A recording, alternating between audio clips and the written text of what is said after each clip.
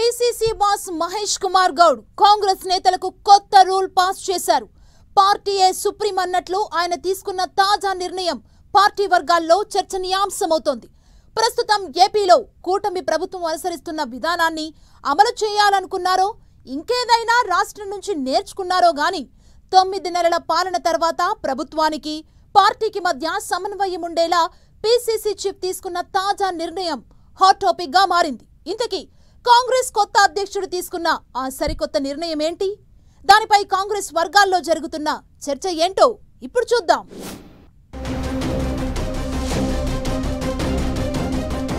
ప్రజాప్రభుత్వంగా చాటుకుంటున్న రేవంత్ రెడ్డి సర్కార్ ఇప్పుడు పార్టీ బాట పట్టనుంది. ఏపీలో కూటమి ప్రభుత్వం అమలు చేస్తున్న విధంగా పార్టీ కార్యాలయంలో మంత్రులు ఎమ్మెల్యేలు ప్రజా సమస్యలను తెలుసుకోవాలని నిర్ణయించిన పిసిసి చీఫ్ మహేష్ కుమార్ గౌడ్ ముఖ్యమంత్రి మంత్రులంతా గాంధీ భవన్కు రావాలని తాజాగా ప్రతిపాదించారు. ప్రభుత్వం అంటే సచివాలయం అసెంబ్లీ ముఖ్యమంత్రి మంత్రులే కాదని ప్రభుత్వంలో పార్టీ కూడా ఓ భాగమని చెప్పాలనుకున్న పిసిసి చీఫ్ నెలకొకసారైనా సీఎం రేవంత్ రెడ్డి గాంధీ భవన్లో అందుబాటులో ఉండాలని కోరుతున్నారు. అదేవిధంగా మంత్రులు కూడా వారానికి రెండుసార్లు పార్టీ క్యాడర్ కష్టనష్టాలు తెలుసుకునే విధంగా గాంధీ భవన్కు రావాలని సూచించారు. PCC chief ప్రతిపాదనకు CM Revanth Reddy green signal ఇవ్వడంతో ఇకపై మంత్రులు వారం వారం గాంధీ భవన్లో ప్రత్యక్షం కావడం తప్పనిసరిగా మారింది.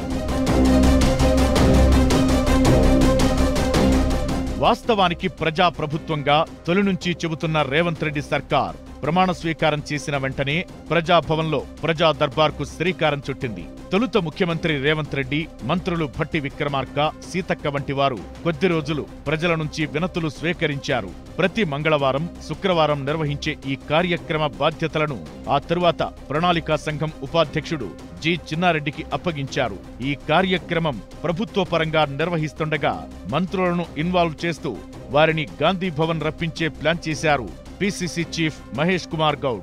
కొద్ది రోజుల క్రితం వరకు ముఖ్యమంత్రి రేవంత్ రెడ్డి పిసిసి చీఫ్గా ఉన్నా ఇలాంటి కార్యక్రమం చేపట్టలేదు. కానీ పార్టీలో తన మార్కు చాటుకోవాలనే ప్రయత్నంతో మహేష్ కుమార్ గౌడ్ కొత్త స్కీమ్కు తెరతీశారా అన్న చర్చ జరుగుతోంది.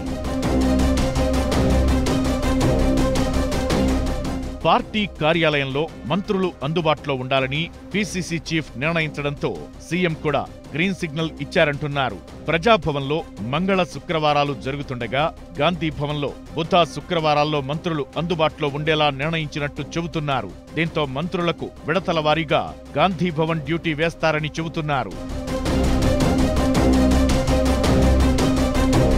పిసిసి చీఫ్ మహేష్ కుమార్ గౌడ్ ఇలాంటి నిర్ణయం తీసుకోవడం వెనుక పెద్ద ప్లానే ఉందని చెబుతున్నారు. కాంగ్రెస్ పార్టీ పదేళ్ళు అధికారంలో కొనసాగాలంటే కార్యకర్తలను ప్రోత్సహించాల్సి ఉందన్న ఆలోచనే ఈ కార్యక్రమానికి ప్రేరణగా చెబుతున్నారు. ఇదే సమయంలో పక్క రాష్ట్రంలో ప్రతిరోజు ప్రజల నుంచి మంత్రులు ఫిర్యాదులు స్వీకరిస్తుండడం కూడా కాంగ్రెస్ అధ్యక్షుణ్ణి ఆకర్షించిందని అంటున్నారు. మరోవైపు రాష్ట్రంలో ఎంఐఎం వంటి చిన్న పార్టీలు సైతం తమ ఎమ్మెల్యేలను పార్టీ కార్యాలయంలో కూర్చోబెట్టి ప్రజా సమస్యలు పరిష్కరిస్తున్నారని అందువల్లే ఎంఐఎం పార్టీ పాత బస్తీలో పాతుకుపోయిందని ప్రచారముంది ఇవన్నీ గమనించే రాష్ట్రంలో కాంగ్రెస్ మంత్రులు కూడా పార్టీ కార్యాలయానికి రావాల్సిందిగా పిసిసి చీఫ్ ప్రతిపాదించారంటున్నారు. ఇక సీఎం కూడా ఓకే చెప్పడంతో వచ్చే వారమే ఈ కార్యక్రమం మొదలయ్యే అవకాశం ఉందంటున్నారు. ఇతర రాష్ట్రాల్లో ప్రాంతీయ పార్టీలు ఈ విధానాన్ని అనుసరిస్తున్నా కాంగ్రెస్ వంటి జాతీయ పార్టీ ఈ కార్యక్రమాన్ని ఎలా నిర్వహిస్తుందనేది ఆసక్తికరంగా మారింది.